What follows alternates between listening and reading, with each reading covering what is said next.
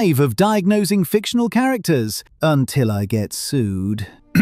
Today, the truth about Itachi Uchiha's mysterious illness. Throughout Naruto, Itachi shows three consistent symptoms coughing up blood, extreme fatigue, and progressive blindness. The lore says the blindness comes from the Mangekyo Sharingan, but magic eyes don't make you cough blood. Those symptoms together point to a very specific autoimmune disease. Itachi had microscopic polyangiitis. It is a rare condition where the body's immune system attacks small blood vessels, causing them to inflame and burst. This disease specifically targets the lungs, coughing blood, and the kidneys, fatigue. But the Mangekyo makes it worse.